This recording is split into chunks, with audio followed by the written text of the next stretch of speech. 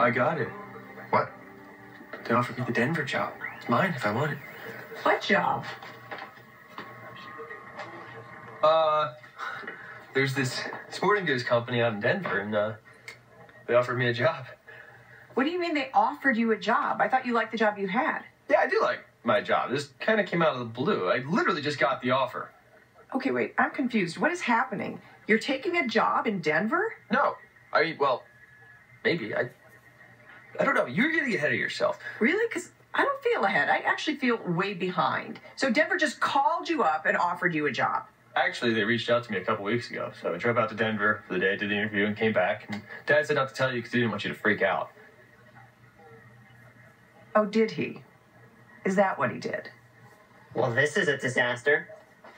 The webbing on my chair's starting to unravel.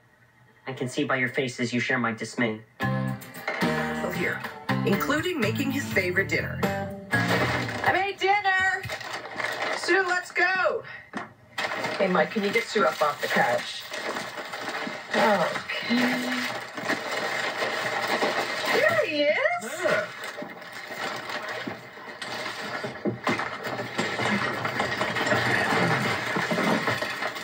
So, what do you think?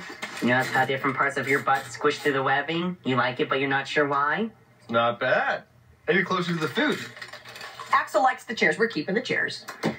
So, Axl, they give you any kind of a time frame when you have to let them know? Well, I talked to them this morning. I mean, they said I could take a week to think about it. They know it's a big decision for me because I'd be moving my whole life to Denver. I mean, it's a cool city. Yeah, yeah. It is cool. I mean, you can't bake a cake there, so just saying, don't expect any cake.